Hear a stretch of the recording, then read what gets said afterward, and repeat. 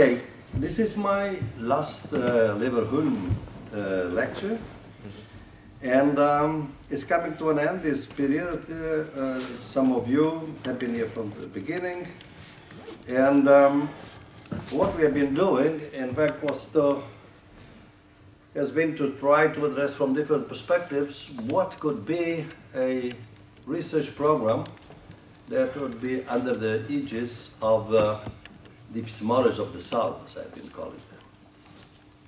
And trying from different approaches, and you saw our different topics. This is the, the 10th topic that we are addressing here. And for this last one, I chose decolonizing the social sciences.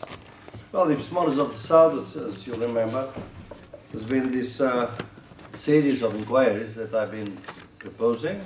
Many other people have done so, but that's my own proposal, of production and validation of knowledge from the perspectives of those that have suffered in a systematic way the injustices produced by domination, exclusion, and discrimination caused by capitalism, colonialism, and sexism.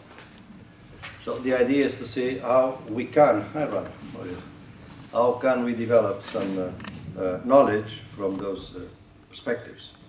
And I've also said in previous lectures that uh, the epistemologies of the South, as I uh, formulate them, are there so that they won't be necessary in the near future.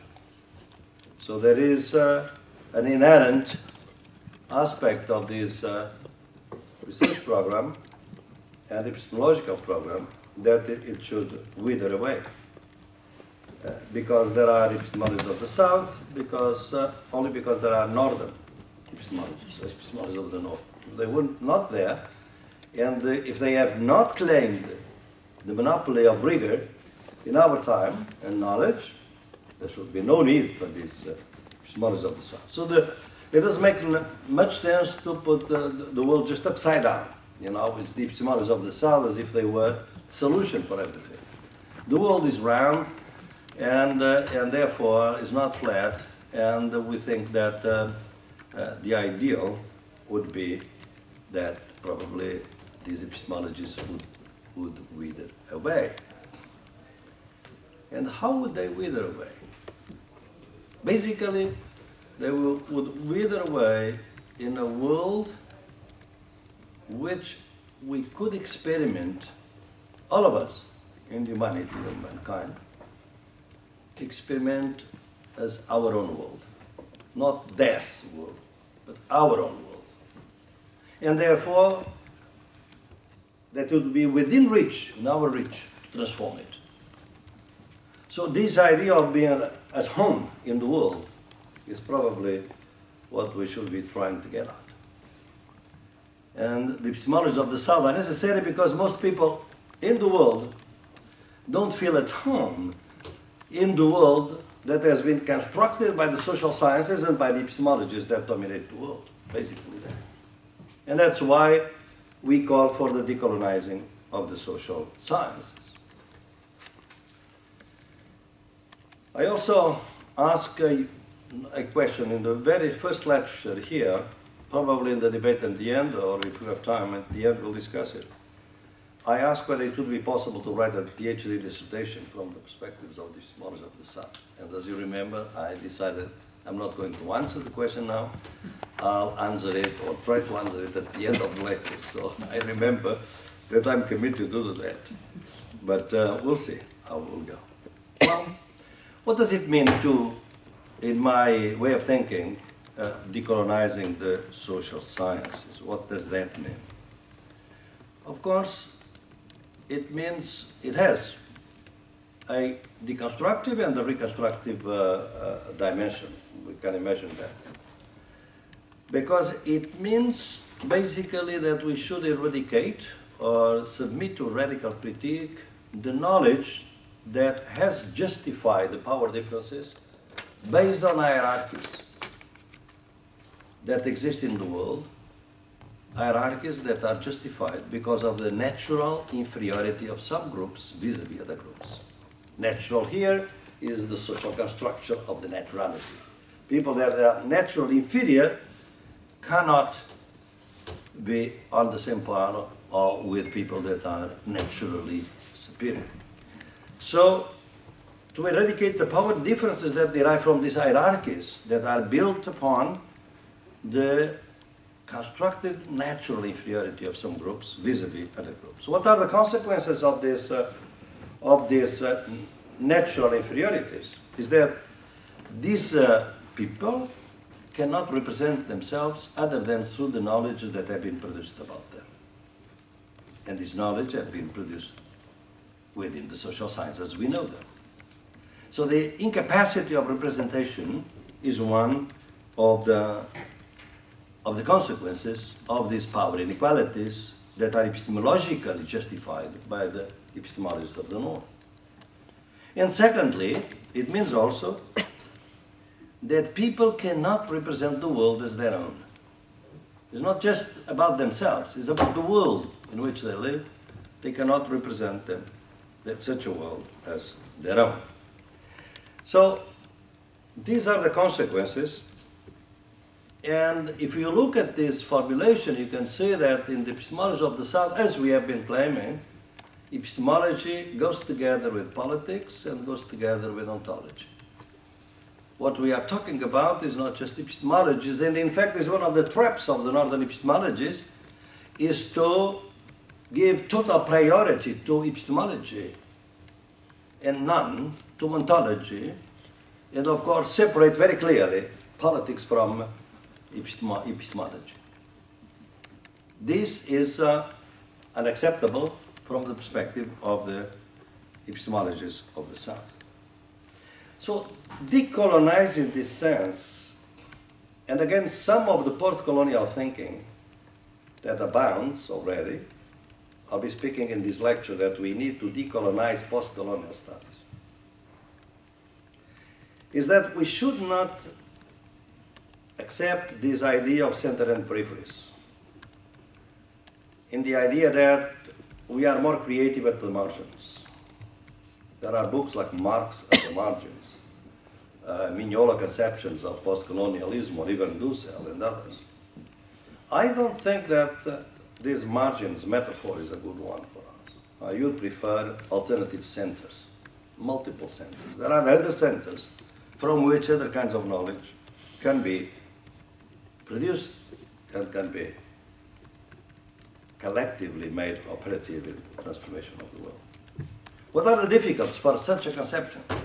The first one is that decolonizing implies colonization, and colonization is a co-invention. That is to say, and this great African scholar, Achille Mbembe, that also claims this point. Colonization is co-invention. And therefore, this dichotomy, colonizer, colonized, has to be much more complex than what uh, we have uh, thought before. And probably we need also some decolonizing of the colonizer, of the colonizer, of course, but of the colonized as both colonized and as an active participation, participant in the colonization. Colonialism counted very much also on participation of the colonized. So it must be very difficult to try to understand and to render in epistemological, political, and ontological terms, particularly, the idea of co-invention. Because there we are, in a sense, challenging a little bit some, even of some of my ideas, some of the formulations in the text that we have read beyond the abyssal thinking, uh, the idea, and it's also Fanon's idea, of the non-being. The, the other side of the line, as you have, uh, some of you have, uh, have read, is the other side of the line is the, the region of the non-being. This non-being is also complex in itself, and I think we have to address this difficulty. But there is a second difficulty. Is that decolonize the social science in the name of what and for what purposes? To create other sciences? To create other knowledge? To create, to, do a counter-hegemonic use of social sciences, as I have been claiming for human rights, as I have been claiming for law, counter-hegemonic use of law. should all the social theories that we know in the global world of scientific knowledge, which is north-centric as we know, should all of them be treated alike? Or are there differences? For instance, is Marxism less uh, objectionable from the point of view of the epistemology of the South than structural functionalism, or are they both part of the same package? Should we try to decolonize much of the studies on the anti-colonial struggles and the post-colonial studies? So these are questions that we should address, and uh, I'll address some of them. Well, for those that are familiar with my framework, you know uh, that the basic uh, uh, theoretical framework is the abyssal thinking. Is the idea of the abyssal line that creates a radical exclusion and a radical separation between those entities, practices, principles, idea that exist on this side of the line and those that exist on the other side of the line. And in such a way that those that exist on the other side of the line vanish.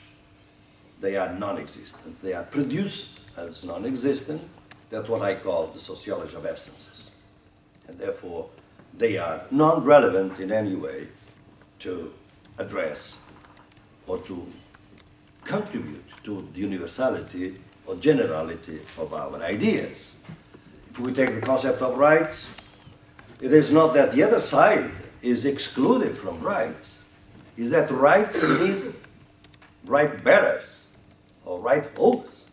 And there are no bearers on the other side, as conceived by the northern epistemologists. And that's why the same entity, as we discussed in the previous lecture, we can have a Janus face idea of the same entity, and they don't speak to each other. Labor law was a very progressive form of protective law on this side of the line, and at exactly at the same time forced labor. But no jurist, no lawyer that works on labor law in the North ever thought that at the same time that the protective labor law was being created, forced labor law forced labor was also being created and instituted. So this incapacity, because on this side of the line we have regulation and emancipation, on the other side of the line we have appropriation and violence. Just a, a brief restatement of uh, my, my theory there. So decolonizing is a very strenuous, complex endeavor, and we have to go by stages, by layers, or by levels. And there are certain levels that belong to what I could call an internal critique of northern epistemologies, and uh, others that will go, uh, that will need an external critique. For the difference between external and internal critique, I um, recommend that you uh, read uh, my introduction to the third volume of Verso uh, book called Another Knowledge is Possible and there you can see the distinction between the internal and the external uh, critique of science and the knowledge. So let's go by degrees of decolonization, I would say, of defamiliarization, or using uh, a very good uh, playwright, uh, the degrees of separation. So let's start by degrees of separation from this conventional uh, social sciences. The first one, the first layer is a, is a, is a, complicated, a complicated layer, uh, but much has been done uh, in, this, in this area, is uh, the critique of the universal history or of the world history, as Hegel would uh, put it. Hegel's conceptions of in philosophy of history has been very influential uh, throughout the, the global north, and uh, as you know, uh, this philosophy of law is very well known. Uh, and if it is, and is well known because most people haven't read Hegel, but they don't need to read uh, Hegel because uh, there is money.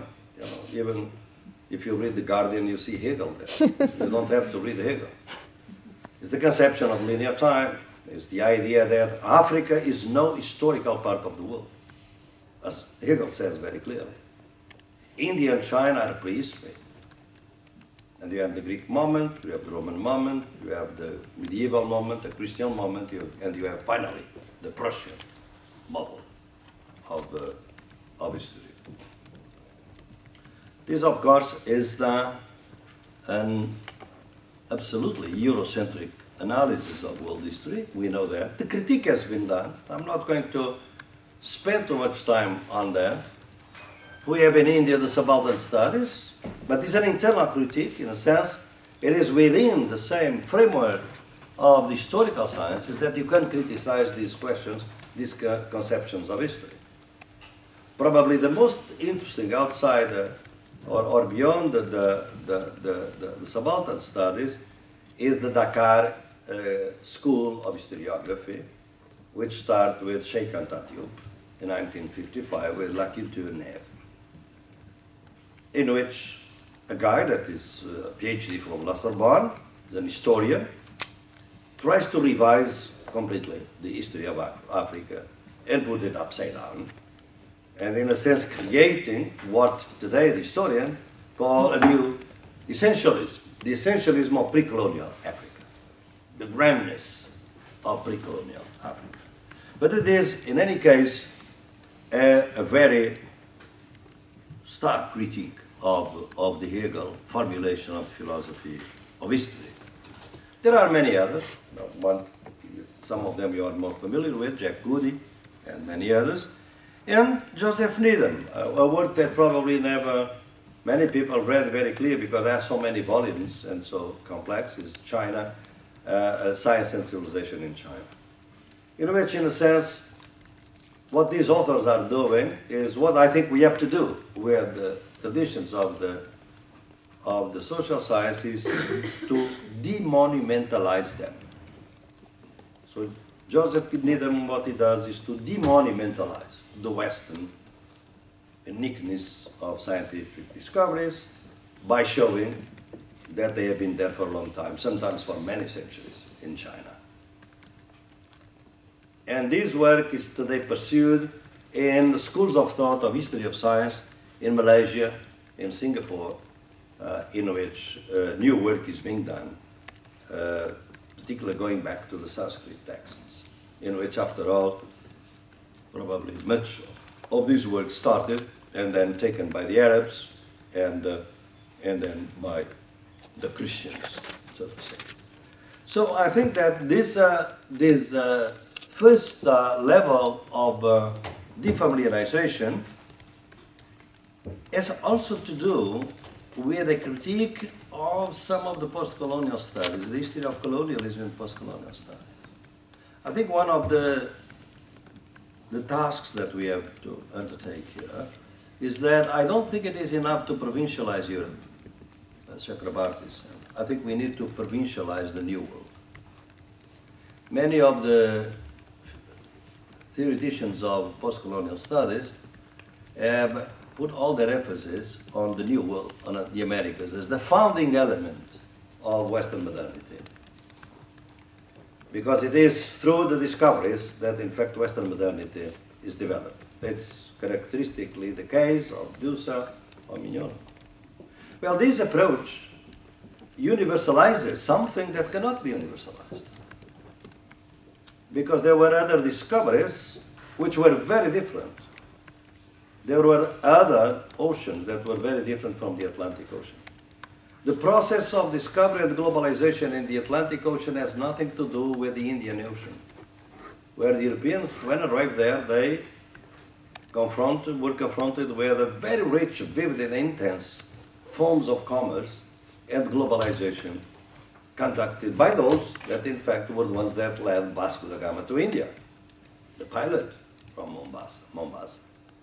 So it's a different world and the colonization in India, in the East, in Africa, was very different from the one in Latin America, and therefore, different colonialisms lead to different post-colonialisms, probably.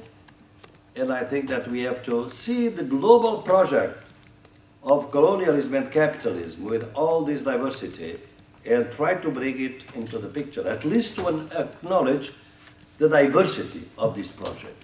Very intense diversity, and therefore uh, be a little bit aware uh, that of these consequences, because the consequences of, in a sense, giving all the priority to the new world as the founding element of Western modernity had an, intent, an unintended consequence. It was to homogenize Europe.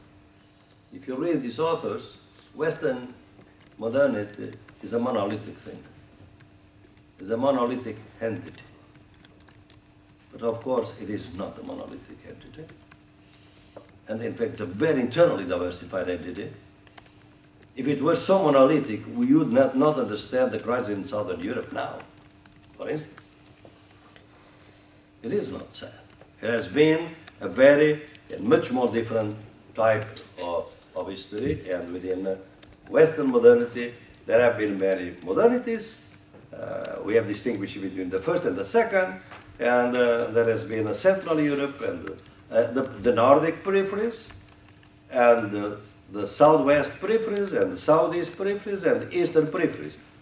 All of them, in a sense, would be Europe, but they were not involved in the same way in this colonial project, even though it is not, necessary to, to have been involved in colonialism to have a colonial state of mind.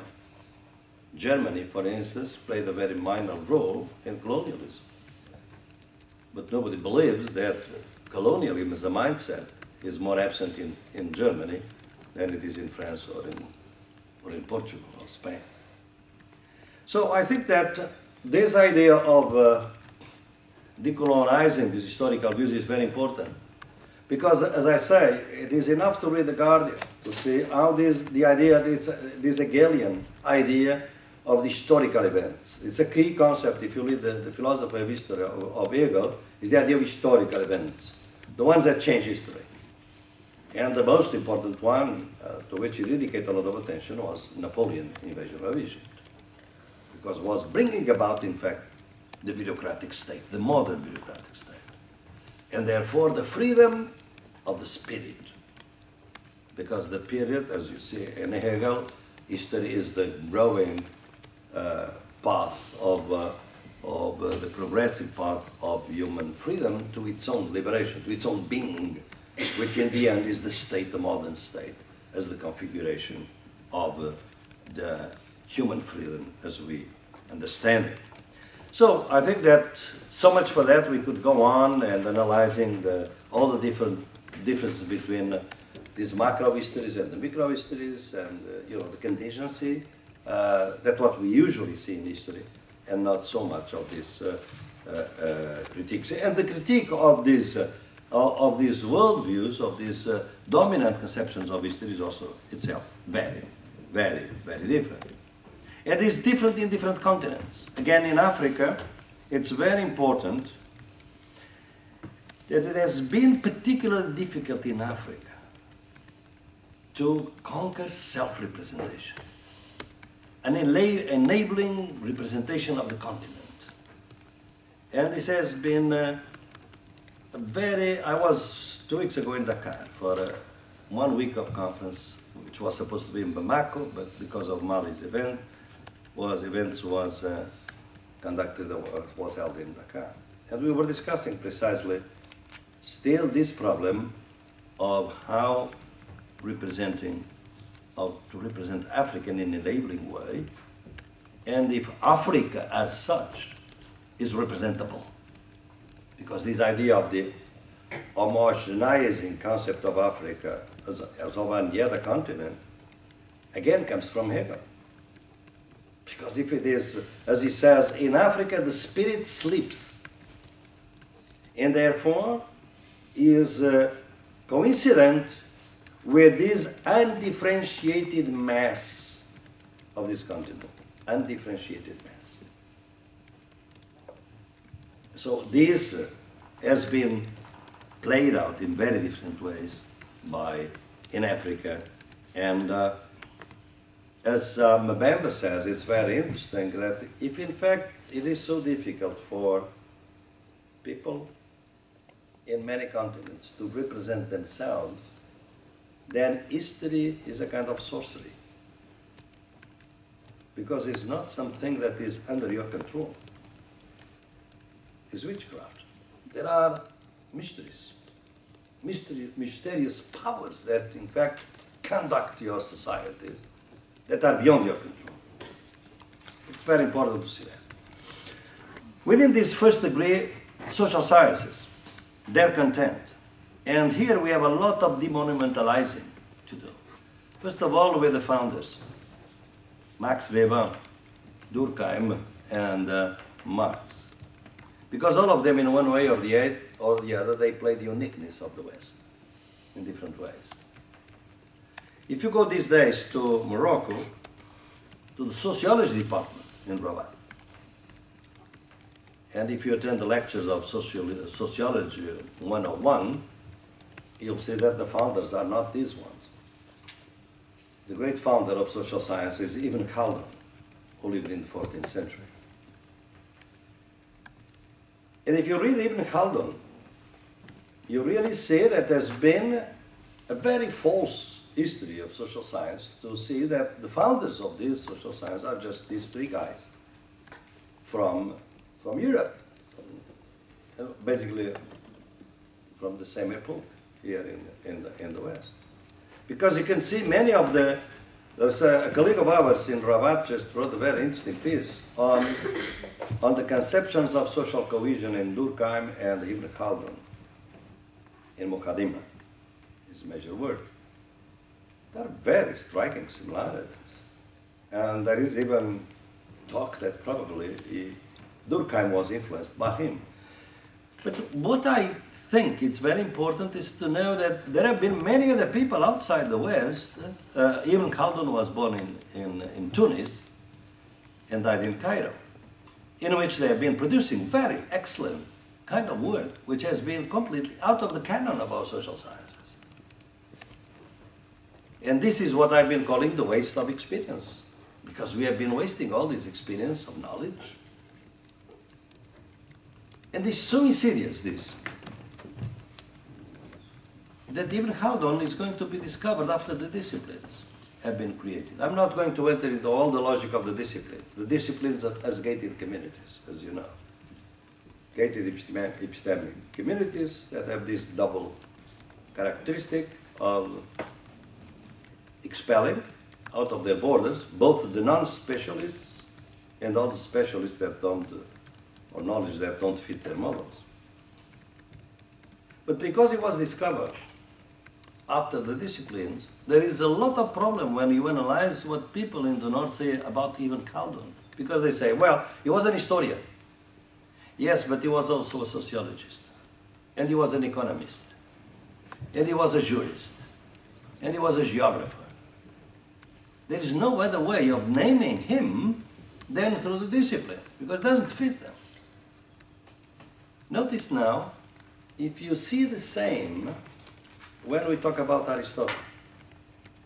Does anyone talk about Aristotle in these times? No. Aristotle was discovered much before the disciplines. That's why he's philosopher. But of course he was an economist. He wrote a book on economics.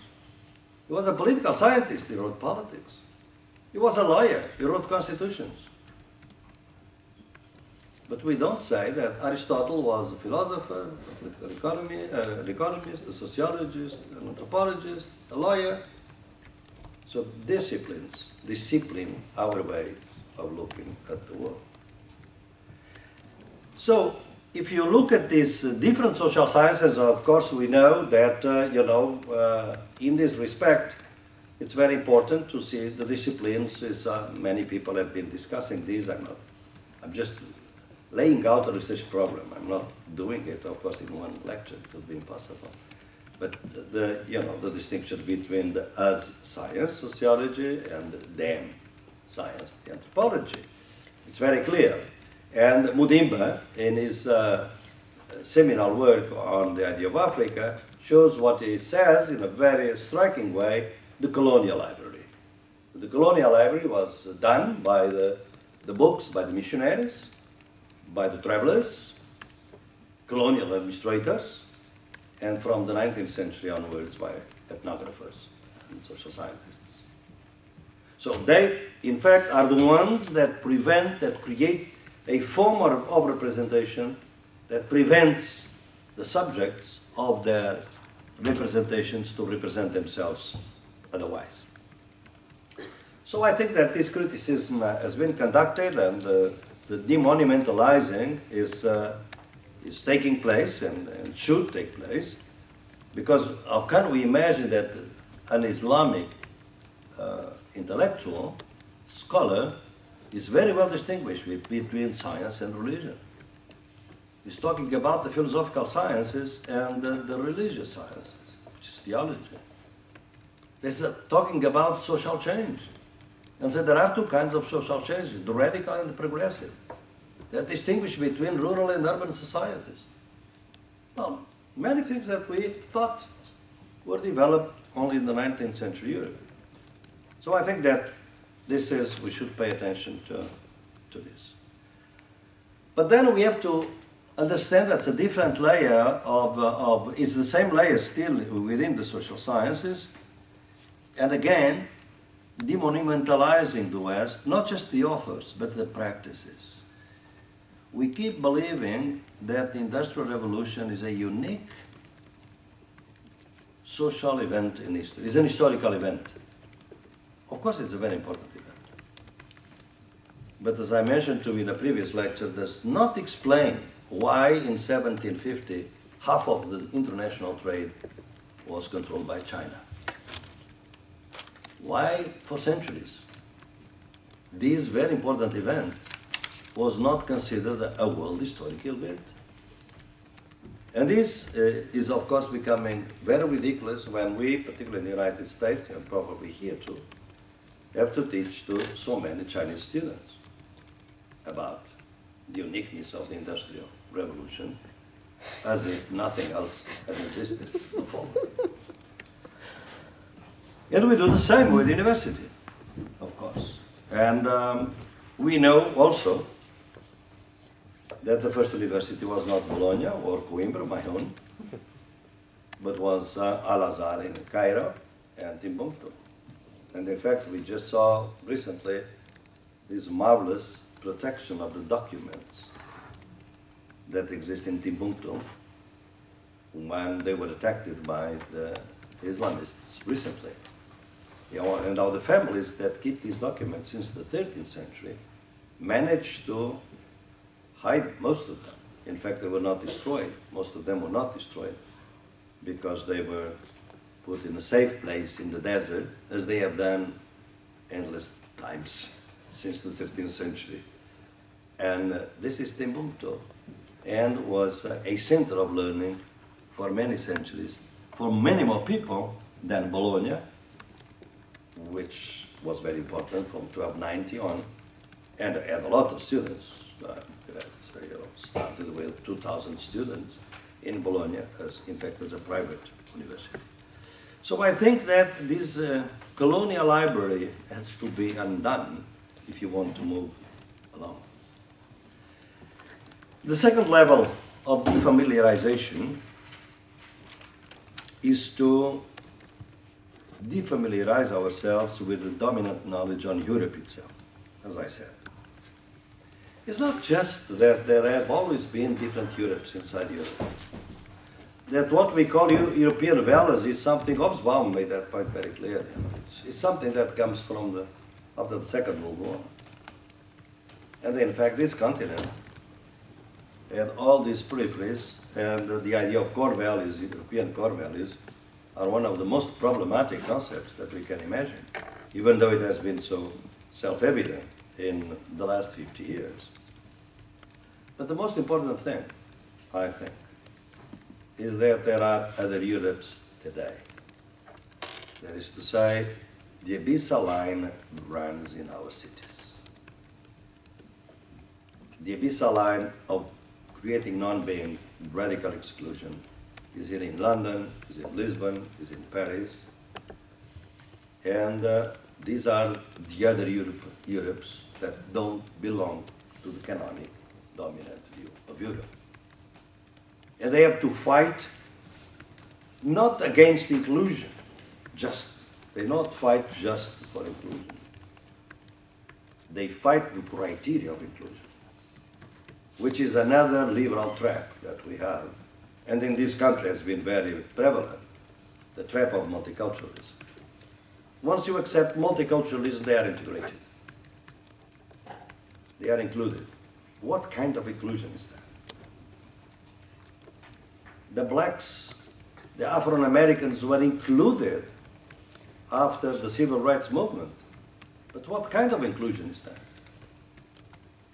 In which most of the black youths in the United States today are incarcerated.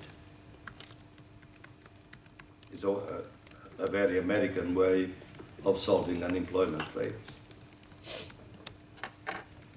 So this, uh, if you look at the movements that are today, and, and this is very striking, what I'm telling you is, is really very difficult for us to, you know, to address. One of the parties in Paris, in France, is the Indigènes of la République. I don't know if you know that. They are second generation French youth from the Maghreb, and they have been uh, fighting against uh, European racism. But his leader, in fact, is a, woman, Houria, very good friend of mine, is coming now to Coimbra very soon for a, an event. This woman is asking for refuge in other countries because it's being threatened. Her life has been threatened because they say that she is an Islamic racist against Europeans. And uh, because she's very radical in denouncing European racism. And her life is in danger. And we know that in France they have killed some of these leaders. So it's not surprising that something could happen to her. And uh, the week before now, this last weekend, uh, we were, I was in, in Athens for a meeting of the Indignados and uh, different movements from the Southern Europe. And it was really surprising to me that in the room there was just one black guy, one Afro-European guy. In fact, came with a Portuguese delegation from Cape Verde, immigrant, representative of the immigrants. That is to say, even the indignados, as uh, we have discussed in a previous lecture, the indignado struggles, they tend also to be racist vis-a-vis immigrants in Europe, in Spain, in Portugal, in Greece. And in fact, that's one of the the tricks that neoliberalism is playing in Europe is turning the poor against the poor, as they have done before. Capitalism has always done that. So if you bump into a taxi, uh, a taxi driver in, in Athens, of course the Greek problems are basically due to the Romanians, to the Bulgarians, to all these immigrants that are taking our jobs. That's the usual uh, narrative. So here we need to analyze the diversity of Europe to deassemble what this is, as we have to do with Africa. There's no need, no reason why it should be different for Europe, and therefore criticize not just exclusion, but inclusion. Because if inclusion is not itself intercultural, it is a way of excluding. A third level of defamiliarization is a bit more complex, and this is at the borderline between internal and external critique, is uh, the critique of the concepts that have created the world vision that turns the European project or the Western-centric project or the Global North project as the universal project. So there are really clusters and clusters of concepts that are taken for granted in our social sciences, in our legal systems. And their purpose is precisely to develop this cosmovision that justifies, legitimates the worldview as uh, being the worldview that favors all the civilizational advances of the West or of Europe. What is the, the meaning of this? is that again very clearly these concepts are created in such a way that most of the people in the world cannot experiment the world as their own. That's basically what this is there. Take the ideal types of Weber. Many of you, I don't know, we are at law school, but you know, sociology is very common procedure of the ideal types. If you look at the ideal types of family, of society, of law, of state, of anything, without exception, the European societies are much closer to the ideal type than any other society. All the other societies are very far away of the ideal type. It is true that the ideal type, because it's an ideal type, is an ideal construction, so nothing in reality matches that exactly. But the, the European entities are the ones that approximate most the ideal type. And that's why, of course, the rest of the world is always in, in wrong side of history, so to say. So it's very important. Uh, I'm not going into the details on the critique of the abstract universalism. We have discussed that in a previous lecture. And I drew your attention to why this oxymoron, this oxymoron has, has lasted for so long unquestioned. The idea from the Frankfurt School of the European universalism. Because if it is universalism, it's not European. If it is European, it's not universal. But this is the key concept that still holds and is still very important to demonstrate one thing that is still, as I say, you don't have to go to the authors, go to the newspapers or the TV, is that there is no way of going ahead outside the European project. So there is no outside to this European project. So the critique has been done by several. I'm not going into that uh, in detail.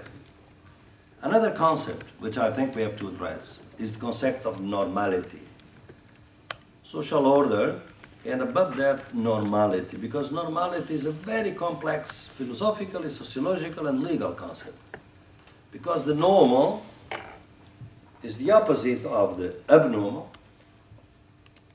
of the exceptional, of the critical, and of the anomic.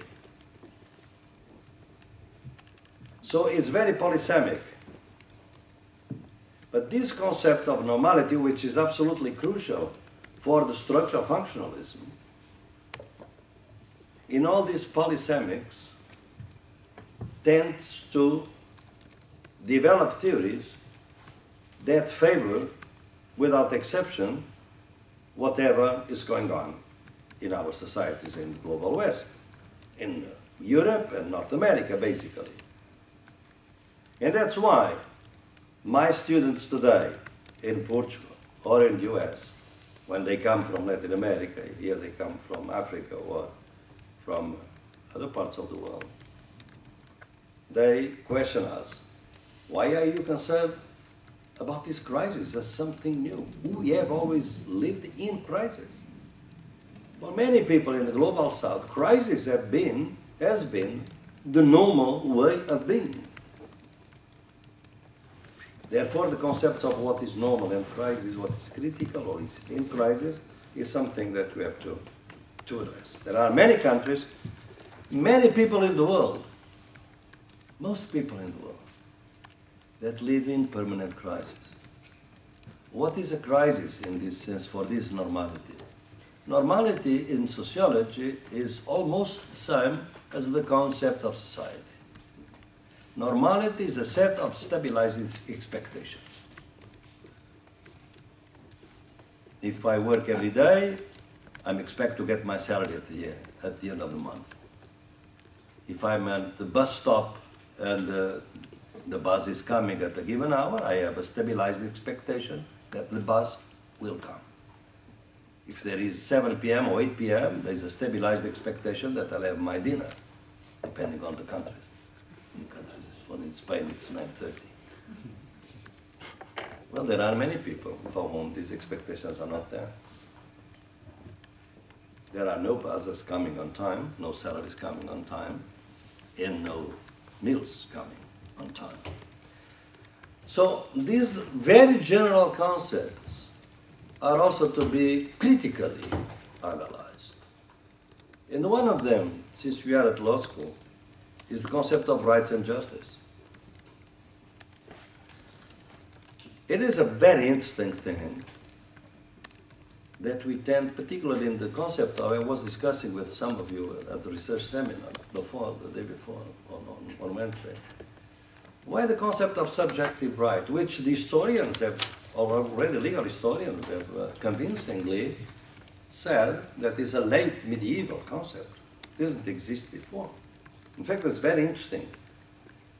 It arises as from the Franciscans, the concept of subjective right, to have a right to something because the Franciscan, the, the, the, Franciscan order was supposed to have no right to anything because God, uh, Jesus, had been the poorest person in the world with no right, no property. And therefore, they, and it is by negation, they criticize the idea of subjective right as we know it today. But in our concept, right there, rights have always been there. So we evacuate history, and in those so doing, it is much easier for us to be unreflective and uncritical about these concepts. Of course, I'm not saying that what the philosophers call the genetic fallacy is not a fallacy.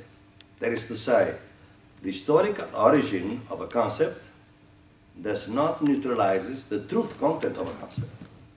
Example, human rights may be Western in origin, but now they are universal.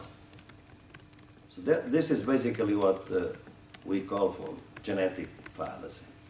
That is to say, the fact that they were born in the West doesn't mean that they are only valid in the West. They are universal.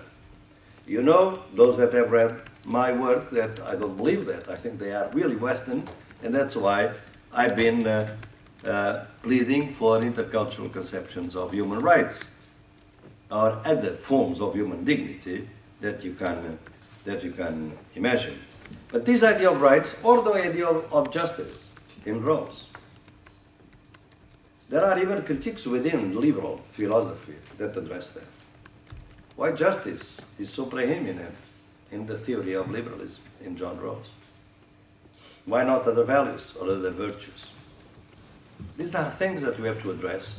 And you can do that from an internal point of view and an external point of view. There are different critiques, which in previous work I have, I have designated as paradigmatic critiques and sub-paradigmatic critiques. We can, if you want, we can uh, do that uh, in detail. And now I move to the theories. Also, within this third level of defamiliarization, there are also theories and concepts. I think that we have to do two things here, and it will take a long process to do it, even though it is being done already is to engage in a critique of conventional concepts, very often not to eliminate them, but to, to, to unmask, to unveil, as Heidegger would say, their being, their limits, their boundaries, their origins, bring in history so that you can bring criticism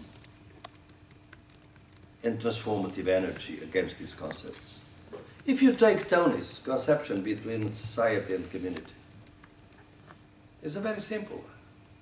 You look at this distinction, you see immediately that most of the world is in the wrong side of history. Because only Europe is on the side of society. Most of the other societies are in Gemeinschaft group. Gemeinschaft, the, the German word for community. And you do that with the concept of the family. And you can do that with the concept of health, with the concept of law, with the concept of property, with concept of risk. So these are key concepts that have to, to be critically engaged with. And I think we can do that. It is being done.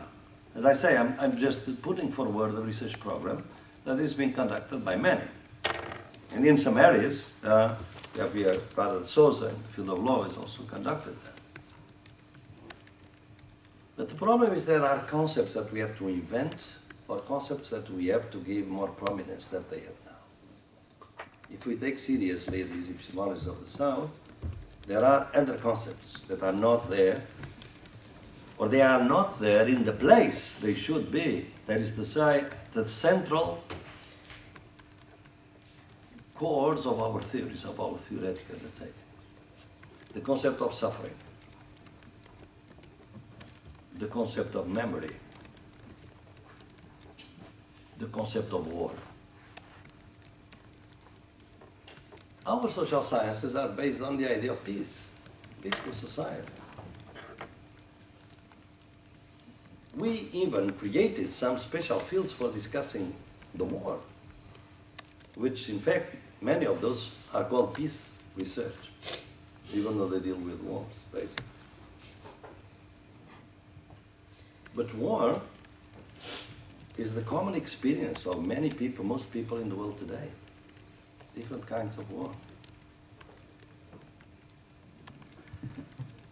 Racialized bodies and races is also a key concept. Reparation, violence. So these are concepts that don't, I'm not saying that they are not there, they are there but they don't have the prominence they should have. The concept of sacrifice And of course, I'm not going to deal with the concept of development, we did that in a previous lecture, or the concept of progress, we did that too. And in a sense also the concept of the tradition.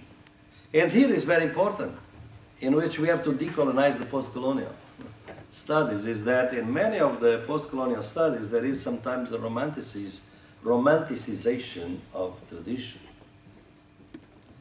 And tradition sometimes is also very reactionary. And what is tradition? Is an alternative modernity. This is a, a concept, an idea that goes today as a very strong in social studies. The idea that there are many other modernities other than the European modernities. And how many people outside, in Java, in uh, Indonesia, how they have studied from the 18th century onwards very modern type of values and of ways of being that were not European, but there are other modernities. So this is uh, another way of dealing with alternative centers, not margins, alternative or other centers. So this is another topic which I think is important. The fourth level of the familiarization and I, I don't have much time, well, it's already late. Uh, I should have finished in a minute, but uh, I just mentioned that. Is uh, the main dichotomies, or at least three of the main dichotomies that I've been engaged with, and, I, and we dedicated some of our lectures to this, so I'm not going to, to expand much. But of course, the first one is the individual community one, because it is a founding dichotomy of the Western epistemologies and theories, and is a very unique and exceptional. And in many cultures, they don't even have this idea of being as the individual being, as we have discussed. And I was recently came across with a, a very important Argentinian thinker, absolutely forgotten, that developed the concept of uh, a very interesting concept based on indigenous uh, cosmovisions against the concept of being in Heidegger, estar sendo, in Spanish and Portuguese. I am being. I am not. I am being. Which in Portuguese and Spanish allows us to give two movements, the space and the idea of being. Estar is to be there. Estar is to occupy a place. Estar sendo means being. That is to say, to being in a specific place, and therefore time-space in the same concept. And of course, if you have this concept of being, the dichotomy individual community is not there. So I addressed that in a previous lecture. We discussed the Frankfurt School conception of the autonomy of the individual as being very problematic, uh, and uh, I'm not going into that. The second one is between nature and society. Is also we also did that when we discussed the rights of the rights of nature and the indigenous constitutions of Ecuador and Bolivia. And the third one is the immanent transcendence, transcendent, immanent transcendent dichotomy, uh, which we have uh, usually identified with conceptions of secularism in the West. Um, believe it or not, these dichotomies are very, very important now that we are heading for the, the World Social Forum in Tunis, which will be at the end of March. These are, I'm sure, most of these dichotomies are going to be very much present there. They are already, they are already burning the field, uh, particularly the last one, on the conceptions of, of uh, immanent and transcendent. The final layer of defamiliarization is external critique because it's about the ways of knowing. Whether, as I have explained to you in a, discussed with you in a previous lecture, that the epistemologies of the South are born, knowledge is born in struggle. And at the universities, usually teach the university is the knowledge of the winners as told by the winners. What is this? What are these kinds of knowledge? These times, the concepts of time and space that underlie these other kinds of knowledge, what we could call the ecology of knowledges. That was the key concept. The distinction between subject and object. The distinction between objectivity and neutrality.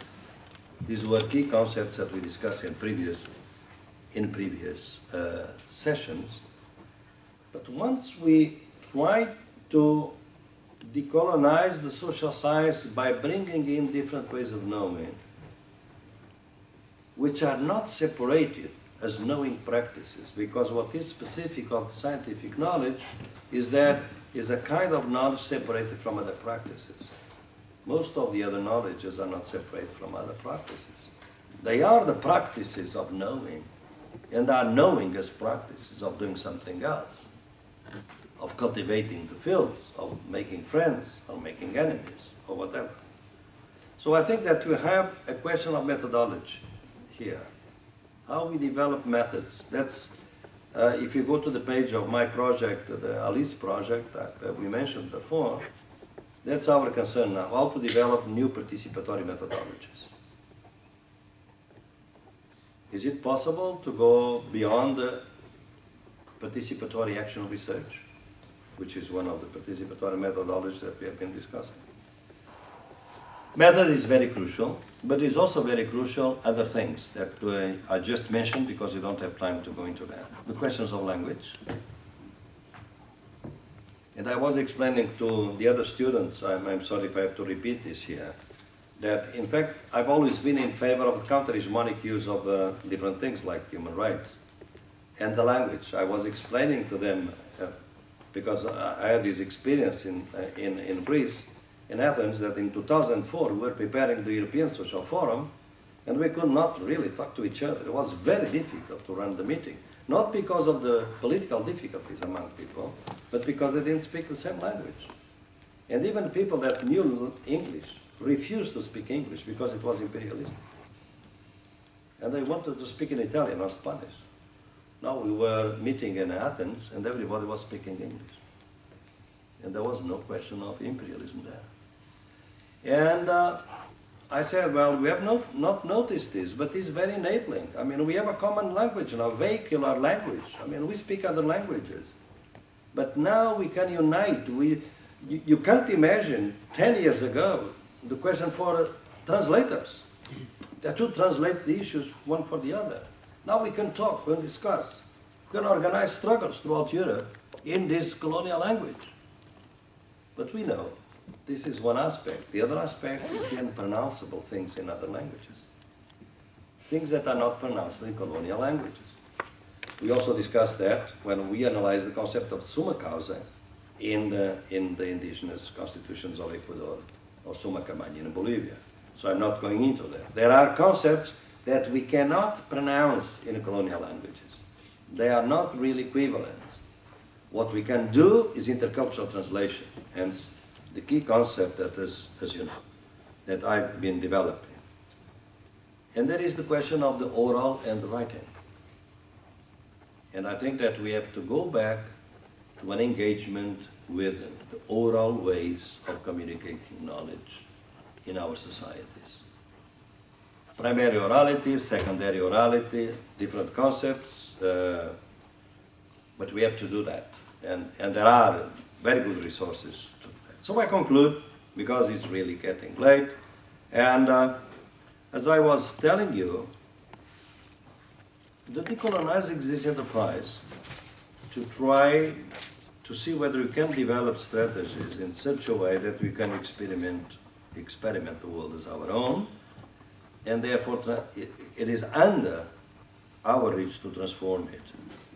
That is to say, we have to try to reduce as much as we can the reality of people that are in the world as exiles, as intruders, as foreigners, as immigrants, as squatters. And there are people that are none of the above, but are at the mercy of others. They are not foreigners, they are not immigrants, they are not intruders, they are citizens, but citizens without rights. And you can see that in Europe these days very clearly. They are at the mercy of others. So they are in exile in a sense. They cannot experiment the world as their own if they are dependent on the philanthropy of an NGO to be fed tomorrow. And more citizens in Europe are going through that experience. So if it is, in fact, uh, this possibility, then the possibility of transformation is probably the possibility of a commonality on the basis of this immense diversity of the experience of the world. But you cannot do that if we don't have a sense of sharing. And to have a sense of sharing, we have a sense of knowledges that, being very different, they allow for some level of intercultural translation. Well, you know that all this sounds like utopian, but uh, you know that's the last sentence I put in the Toward the New Common Sense, my 95 book, uh, citing from Sartre. All the ideas are utopian before they come to reality. So this one is maybe one of those. So thank you very much, and we move now to the debate.